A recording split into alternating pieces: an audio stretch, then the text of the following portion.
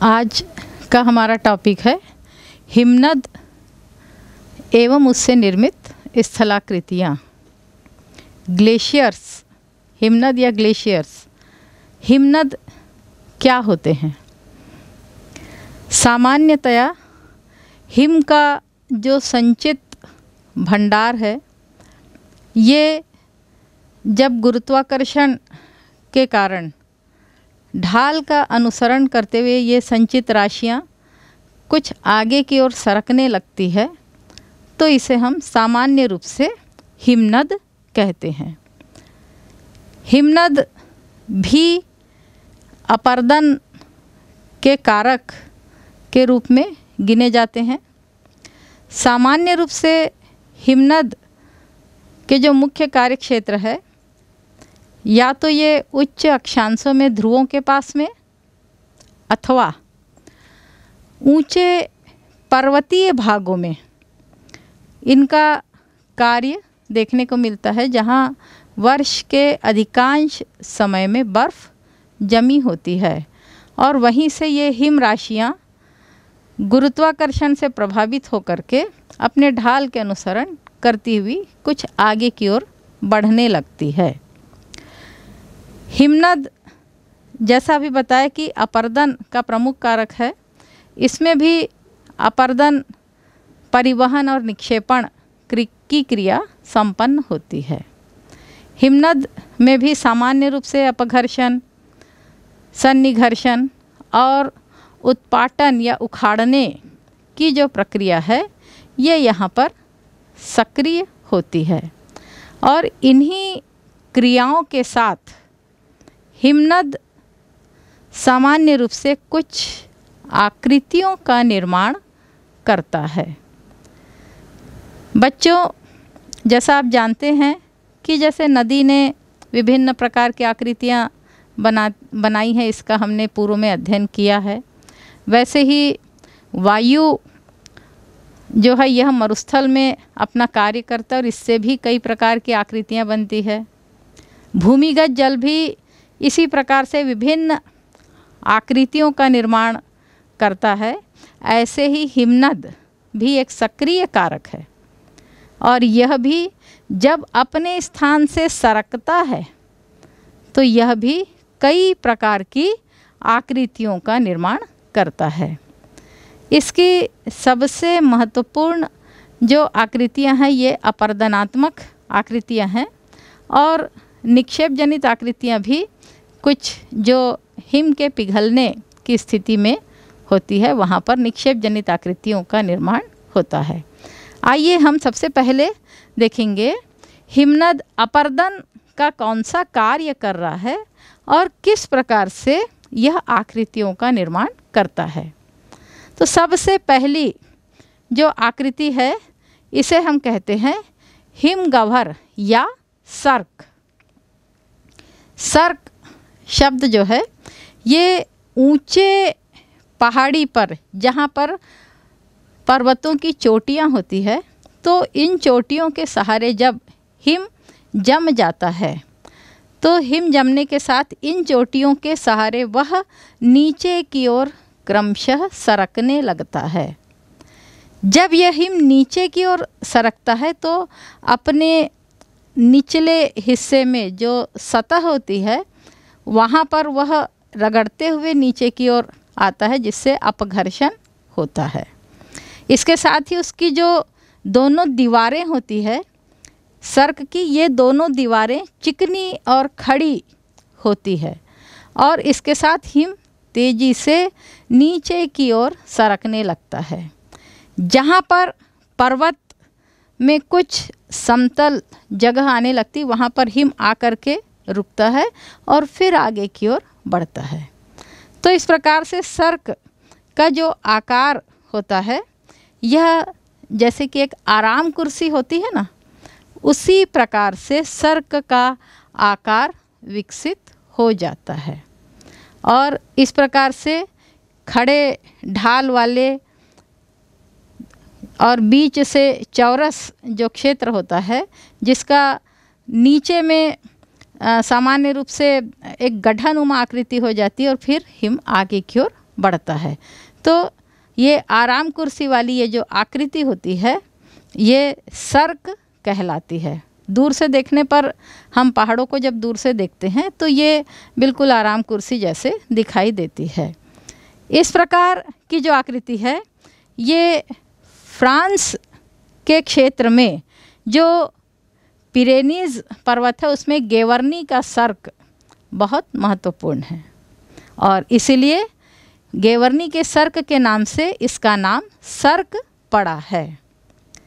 लेकिन अलग अलग क्षेत्र में इस सर्क को अलग अलग नामों से जानते हैं, जैसे कोरी, कैटन, स्विस, बोटून और कैसल। ये प्रत्येक क्षेत्र की स्थानीय भाषा या उस क्षेत्र की स्थानीय नामावली के आधार पर ये सर्क के अलग अलग नाम कर दिए गए हैं। सर्क का जो निचला क्षेत्र होता है, जहाँ पर गड्ढे नुमा आकृति बन जाती है, क्योंकि हिम यदि ऊपर से नीचे आता है तो नीचे में आने के बाद वह कुछ इतनी बड़े पिंड होता है वो उस पहाड़ के क्षेत्र में कुछ गड्ढा नुमा आकृति कर देता है और फिर आगे की ओर सरकता है।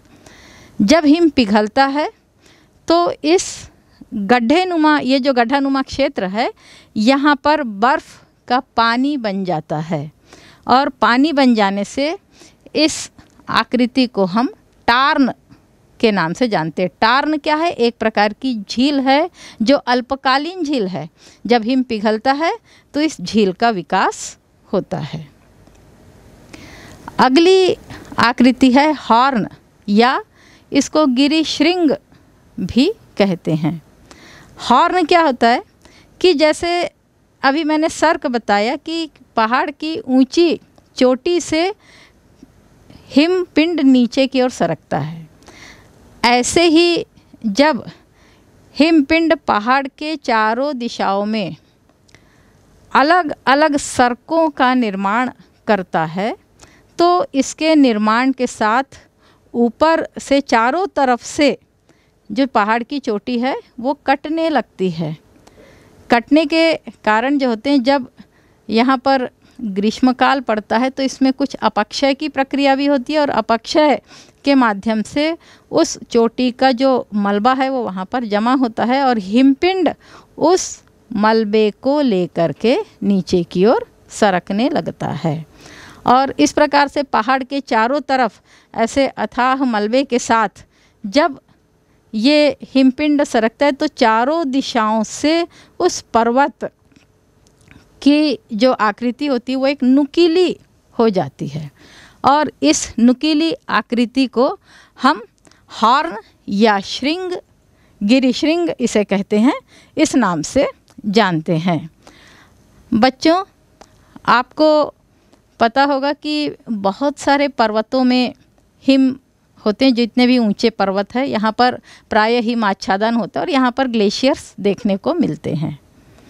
तो आपने आल्प्स पर्वत का नाम सुना होगा। आल्प्स पर्वत की सबसे जो ऊँची चोटी है ये है मैटन हॉर्न की चोटी। ऐसा विद्वानों का मत है कि यह जो है, ये गिरिश्रृंग है या हॉर्न निर्मित यह चोटी है। इसी प्रकार से हिमालय में जो सबसे ऊँची चोटी जिसको हम माउंट एवरेस्ट कहते हैं, यह भी हॉर्न, यहाँ पर भी हॉर्न का उदाहरण देखने को मिलता है। और इसी प्रकार से हिमालय में त्रिशूल पर्वत का नाम आपने सुना होगा। यह त्रिशूल पर्वत भी हॉर्न के उदाहरण को प्रस्तुत करता है। तो हॉर्न जो है, ये ऊँचा, एक टीले की ऊपर की चोटी है, जो चारों तरफ़ से कट गई होती है और अकेली ऊँची चोटी दिखाई देती है। जब पर्वत इस हॉर्न के क्षेत्र से बर्फ़ पिघल जाती है और बर्फ़ के पिघलने के बाद केवल पत्थर की जो शिला है, इसे हम देखते हैं तो दूर से जब इसे देखते हैं तो ये केवल शिला दिखाई देती है और ऐसी ऊँची खड़ी शिला दिखाई देती है। तो इसे हम नुनाटक के नाम से जानते हैं। ऐसे नुनाटक ग्रीनलैंड में और आइसलैंड में बहुत अधिक देखने को मिलते हैं। तो इस प्रकार जो हॉर्न है, हॉर्न ही नुनाटक कहलाता है, लेकिन जब बर्फ़ पिघल गया रहता है तो उस आकृति को नुनाटक कहते हैं। इसके बाद की जो अगली आकृति है, इसे हम कॉल कहते हैं। कॉल क्या है? जब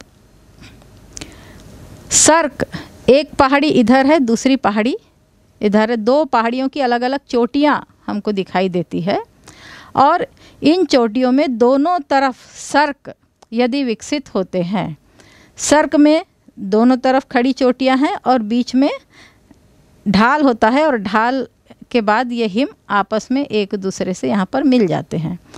तो एक पहाड़ के बीच में एक दर्रा नीचे में बन जाता है। दो चोटियों के बीच का जो हिस्सा है, ये दर्रा कहलाता है, पास इसे कहते हैं। और इसका निर्माण कभी कभी यही हिमनद कहते, करते हैं और दो सर्क के बीच का जो दर्रा या पास होता है, इसे हम कॉल के नाम से जानते हैं। आल्प्स पर्वत में इस प्रकार के कॉल बहुत अधिक देखने को मिलते हैं। हिमालय में भी ऐसे कॉल देखने को मिलते हैं। और इस कॉल के बीच से चूँकि ये दर्रा बन गया है, पास हो गया है तो हिमालय जब हिम पिघलता है तो यहाँ पर यातायात की क्रियाएँ भी सक्रिय हो जाती है। तो ये यातायात के लिए उत्तम मार्ग प्रदान करते हैं। ये जो दर्रे होते हैं, ये जो पास होते हैं, ये यातायात के लिए उत्तम सुविधाएँ प्रदान करते हैं। फिर अगली जो आकृति है, ये कहलाती है अरेत। अरेत या तीक्ष्ण कटक। बच्चों, आपने पर्वतों को देखा होगा तो पर्वत कोई अकेला नहीं होता। पर्वत एक श्रृंखलाबद्ध रूप में आपको देखने को मिलते हैं। तो जब श्रृंखला का तात्पर्य कि आप जब दूर से देखते हैं तो आपको थोड़ी थोड़ी दूर पे पर्वतों की कई चोटियाँ दिखाई देती हैं। ये सभी हिम क्षेत्र में, ऊँचे वाले पर्वतों में, इन सभी चोटियों में सर्क और हॉर्न या गिरिश्रृंग बनते हैं। जब ये गिरिश्रृंग बन जाते यानी चारों तरफ़ से सर्क का विकास होता है। तो ये जो गिरिश्रृंग होते हैं, ये दूर से देखने पर जैसे हमको पर्वतों की एक लाइन से चोटियाँ दिखाई देती है, वैसे ही ये गिरिश्रृंग क्रमशः एक लाइन से दिखाई देते हैं। तो इनका आकार कैसे होता है? जैसे आप कंघी देखते हैं ना बड़े बड़े दांतों वाली तो उसी प्रकार की कंघी के जैसे ये दूर से देखने, प्राकृतिक रूप से देख रहे हैं हम इसको तो ऐसा लगता है कि बड़ी सी कंघी रखी हुई है। तो ऐसे तीक्ष्ण कटकों वाली जो आकृति होती है, इसे हम अरेत या तीक्ष्ण कटक के नाम से जानते हैं।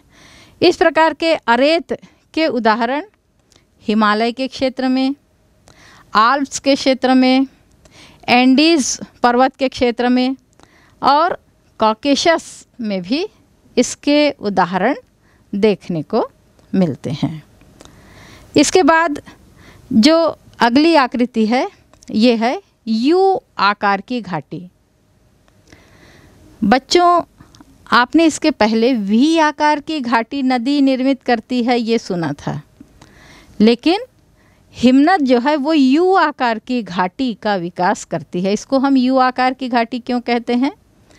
अंग्रेज़ी का यू अक्षर कैसा होता है बच्चों? देखिए, इसके दोनों किनारे खड़े हैं और बीच का हिस्सा चौरस है। इसी प्रकार से हिमनद चूँकि एक हिमराशि हिमपिंड प्रवाहित होता है।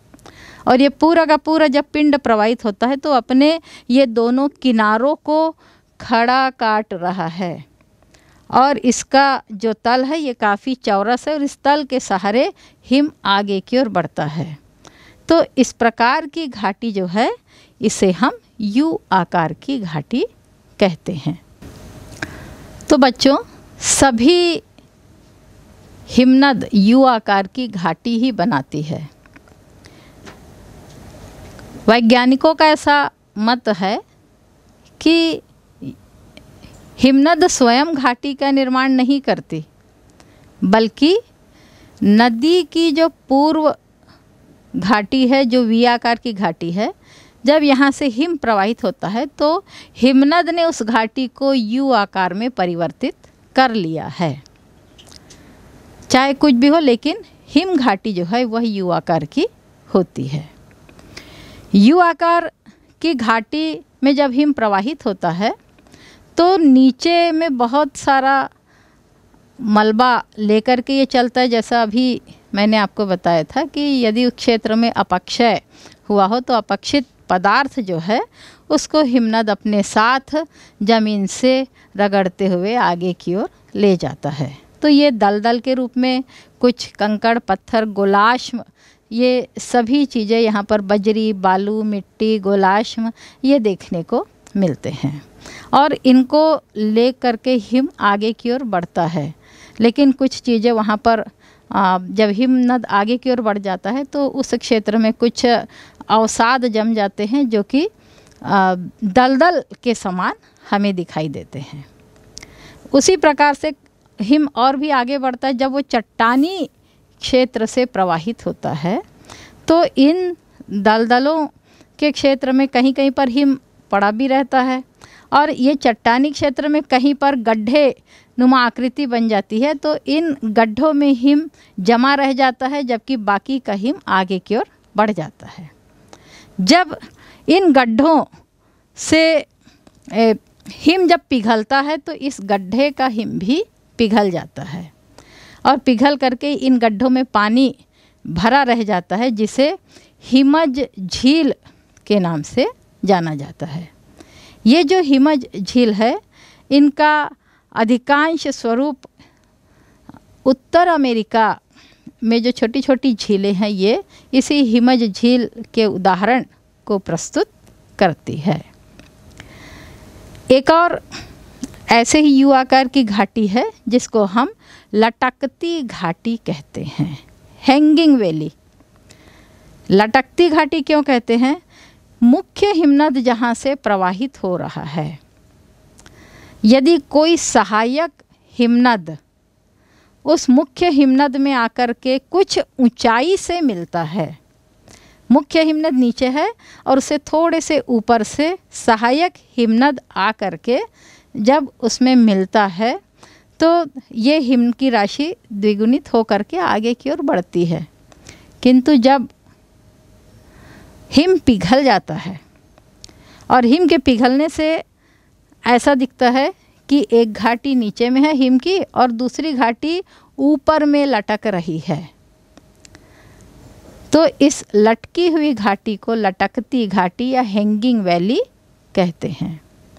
इस हैंगिंग वैली में चूँकि खड़ा ढाल होता है, हिम जब गिरता है तो वहाँ से खड़ा ढाल विकसित करता है।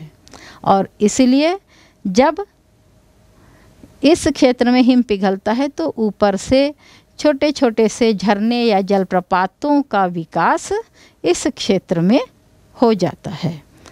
तो ये लटकती घाटी जो है ये प्रायः हिम के क्षेत्र में ऊँचे से नीचे की ओर आती है। इसके बाद अगली जो आकृति है, इसे हम भेड़ शैल या भेड़ पीठ शैल, रॉश मुटानो के नाम से जानते हैं। ये भेड़ पीठ शैल, हम इसको भेड़ क्यों कहते हैं बच्चों? बच्चों, आपको पता होगा कि जो ठंडे क्षेत्र है, वहाँ के पशुओं में भेड़, शीप जो होती है, ये प्रमुख पशु है। जहाँ पर भी हम निवास करते हैं उस क्षेत्र में प्रकृति में जो भी चीज़ें पाई जाती उससे हम किसी चीज़ की तुलना करते हैं। ठंडे प्रदेशों में भे, भेड़ जो है ये शिप जो है ये प्रमुख जानवर है। और जब ये भेड़ किसी जगह पर बैठती है तो आप देखेंगे कि इसका पीठ का हिस्सा थोड़ा झुका रहता है और फिर चेहरा ऊँचा रहता है और इस प्रकार से वो बैठी रहती है। तो इसी प्रकार से जब कोई चट्टान हिम नद के मार्ग में आती है, वो अवरोधी चट्टान हो गई। मान लीजिए इधर से हिम प्रवाहित हो रहा है और भेड़ का जो बैठना है, हिम के मार्ग में दिखाई दे रहा है। यानी चट्टाने जो है, अवरोधी चट्टाने उस क्षेत्र में है और वो थोड़ी ऊँची है। तो हिमनद क्या करता है? इस ऊँची चट्टान के ऊपर चढ़ जाता है। वो उसके बाजू से नहीं जाता। यदि नदी का जल होता तो आजू बाजू से निकल जाता। लेकिन हिमनद उस चट्टान के ऊपर चढ़ता है और ऊपर चढ़ के फिर जहाँ पर चट्टान की दीवार आती है, वहाँ से हिमनद तेज़ी से नीचे की ओर गिरता है। जब हिमनद ऊपर की ओर चढ़ता है तो वहाँ पर वह अपघर्षण की प्रक्रिया करता है। लेकिन जब वो नीचे की ओर उतरता है, जैसा आप चित्र में देख रहे हैं यहाँ से चढ़ते हुए अपघर्षण कर रहा है, लेकिन नीचे में वह तेज़ी से उतर रहा है तो चट्टानों को उखाड़ते हुए नीचे की ओर आ रहा है। यहाँ पर वह उत्पाटन की प्रक्रिया करता है।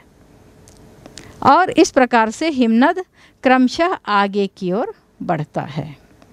तो ये जो आकृति है, पीछे से धीरे धीरे ऊपर उठी है और उसके बाद खड़ा ढाल है तो भेड़, बैठी हुई भेड़ की आकृति जैसा दिखने के कारण इसे भेड़ पीठ शैल कहते हैं। वास्तव में ये जो रौशमुटाने शब्द जो आया है, ये इंग्लैंड के एडिनबरा क्षेत्र में जो कौशल रॉक है, ये इसी प्रकार की रॉक है और उसके कारण इसे उस रॉक से संबंधित भेड़ पीठ शैल के नाम से संबोधित किया गया है।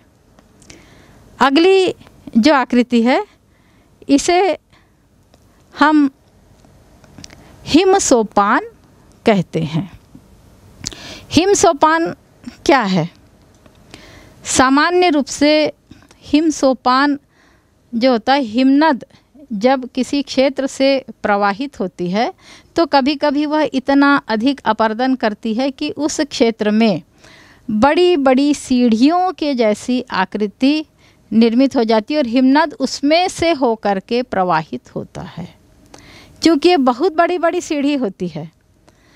ये सीढ़ी जैसे दूर से देखेंगे तो जैसे हम लोग पुस्तकें पढ़ते हैं या कुछ बच्चों की कहानियों में बड़े राक्षसों की बात करते हैं और हम राक्षस की इमेज कैसे बनाते बहुत बड़ा होता है।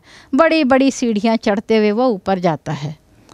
तो ऐसे ही खूब बड़ी बड़ी सीढ़ियाँ बनती है तो इसलिए इन सीढ़ियों को हम दैत्याकार सोपान भी कहते हैं, जब हिम पिघलता है तो ये सीढ़ियाँ हमको दिखाई देती हैं, दूर से, पर्वतों पर।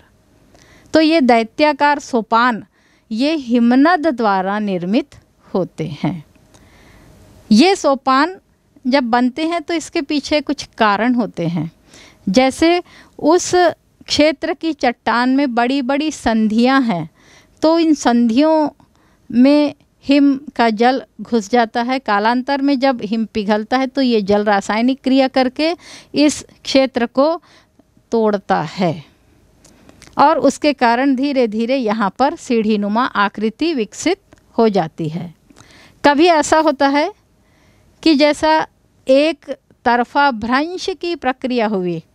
बच्चों, हमने इसके पहले भ्रंश के बारे में पढ़ा था कि भ्रंश में चट्टानों में दरारें आ जाती है और चट्टान ऊपर नीचे, आगे पीछे, दाएँ बाएँ किसी भी दिशा में सरकती है। यदि ये चट्टानें एक ही दिशा की ओर सरक रही है, क्रमशः नीचे आ रही है, क्रमशः ऊपर जा रही है तो इससे भी वहाँ पर सोपान की आकृति विकसित हो सकती है और जब हिम उस क्षेत्र में प्रवाहित होता है तो यह इस हिम सोपान से होकर के क्रमशः आता है। या फिर उस क्षेत्र में भूगर्भिक उथल पुथल हो और उस उथल पुथल के माध्यम से भी हिम प्रवाहित होता है और सोपान की आकृति को विकसित करता है। तो ये तीन कारण हो सकते हैं संभवतया हिम सोपान के निर्मितीकरण के लिए और इसको हिमनद ही बनाता है। जब हिम इस सोपान से ऊपर से क्रमशः नीचे की ओर प्रवाहित होता है तो ऊपर से जब वह नीचे आता है तो नीचे में वो क्या कर रहा है? उखाड़ने की प्रक्रिया कर रहा है। सामान्य चलता है तो अपघर्षण करता है, लेकिन जब वह नीचे की ओर गिरता है, खड़े ढाल में तो वह उखाड़ने की प्रक्रिया करता है। और इस प्रकार से जो निचला हिस्सा है, यहाँ पर उस सीढ़ी के निचले हिस्से में वहाँ पर गड्ढे नुमा आकृति बन जाती जैसे कि सर्क के पास बनती है। और इस गड्ढे, जैसे जैसे सोपान क्रमशः आगे की ओर बढ़ते जाएँगे तो प्रत्येक सोपान में हिम गिरेगा और वहाँ पर गड्ढा नुमा आकृति बना करके आगे की ओर बढ़ता चला जाता है। तो जब हिम पिघलता है तो इस गड्ढे नुमा आकृति में पानी, बर्फ़ जो है वो पानी के रूप में परिणित हो जाता है। और प्रत्येक सोपान के क्षेत्र में एक एक झील का निर्माण होता है। तो इस प्रकार की जो झील है इसे पेटरनास्टर झील के नाम से जाना जाता है। ये झील देखने में बड़ी सुंदर होती है क्योंकि क्रमबद्ध रूप से जैसे एक माला में मोती पिरोया है वैसे ही प्रत्येक क्रम में थोड़े थोड़े दूर पे आ, हिम की परिणति में जल यहाँ पर विकसित हो जाता है हिम पिघलने के बाद। तो ये झीलों की एक मालाकार आकृति देखने को मिलती है। तो ये झील जो है सोपान से विकसित होती है। एक और आकृति है श्रृंग पुच्छ इसको कहते हैं। श्रृंग पुच्छ भी भेड़ के सिंग और भेड़ की पूछ से इस आकृति का नाम श्रृंग पुच्छ पड़ा है। जब हिम सामान्य रूप से प्रवाहित होता है और थोड़ी सी ऊंचाई यदि बीच में एक ऐसी चट्टान आती जो थोड़ी सी ऊँची और उसके दोनों तरफ़ ढाल है तो एक तरफ़ से हिम ऊपर चढ़ जाता है और फिर वह दूसरी तरफ़ धीरे धीरे ही प्रवाहित हो रहा है, क्योंकि यहाँ पर ढाल खड़ा नहीं है, बल्कि धीमा ढाल है। और एक तरफ़ से चढ़ के दूसरी तरफ़ धीमे धीमे प्रवाहित होता है तो ये दूसरी तरफ़ ये अपने जिधर से चढ़ता है, उधर से तो अपघर्षण करता है। लेकिन जब आगे धीरे धीरे प्रवाहित होता है तो उस क्षेत्र में वो अपघर्षित पदार्थों को क्रमशः जमा करता है, जिससे दलदल युक्त जो क्षेत्र है, वो काफ़ी दूर तक चला जाता है। तो ऐसा लगता है कि कोई भेड़ आराम से बैठी हुई, सोई हुई है, उसकी सींग और उसकी पूँछ हमें दूर तक दिखाई देती है। तो इस प्रकार की जो आकृति होती है जिसमें जो आ, खड़ी जो चट्टान होती है बीच की वो सामान्य रूप से बेसाल्ट होती है और उसके कारण ये बेसाल्ट जो है ये टूटती नहीं है और दूर तक फिर सॉफ्ट रॉक भी होती है तो ये आगे तक बढ़ जाती है। तो इस बेसाल्ट के कारण ये भाग ऊपर उठा रहता है जिसको श्रृंग कहते हैं और जब दूर तक ये जाती है तो उसको पूँछ या टेल कार्ग एंड टेल या श्रृंग पुच्छ की आकृति के नाम से इसको जाना जाता है। ये प्रमुख आकृतियाँ हैं। इसके अलावा एक और आकृति है जो हिमनद अपने सागर के तटों के पास बनाता है और ये आकृति कहलाती है फियोट्स फियोट्स तट आपने बच्चों, यदि विश्व का मानचित्र देखा है तो जो कुछ तट ऐसे हैं जो बहुत ज़्यादा कटे फटे एकदम ऐसे कटे फटे कटे फटे दिखते हैं। विशेष रूप से नॉर्वे स्वीडन को आप देखेंगे या ग्रीनलैंड को देखेंगे, उत्तर अमेरिका का उत्तरी तट देखेंगे तो ये बहुत ज़्यादा कटे फटे हैं। ये कटे फटे अत्यधिक कटे फटे दिखने वाले ये तट फियोट्स कहलाते हैं। वास्तव में इतने अधिक कटे फटे नहीं होते। सामान्य रूप से जब जल के तल से जो स्थलीय भाग है, वो थोड़ा ऊँचा होता है और हिम जब इस स्थल से समुद्र की ओर जाते हैं तो ये तेज़ी से नीचे की ओर गिरते हैं। तेज़ी से नीचे की ओर गिरने के बाद, कुछ आगे की ओर जाने के बाद फिर से समुद्र में ऊपर उठा क्षेत्र होता है। ये कभी प्राकृतिक रूप से ऊपर उठा क्षेत्र है या कभी कभी ऐसा होता है कि हिम के जमाव, उस जो अपने साथ लाए हुए पदार्थ हैं, इन पदार्थों को हिम उस तट में थोड़ा सा आगे जमा कर देता है।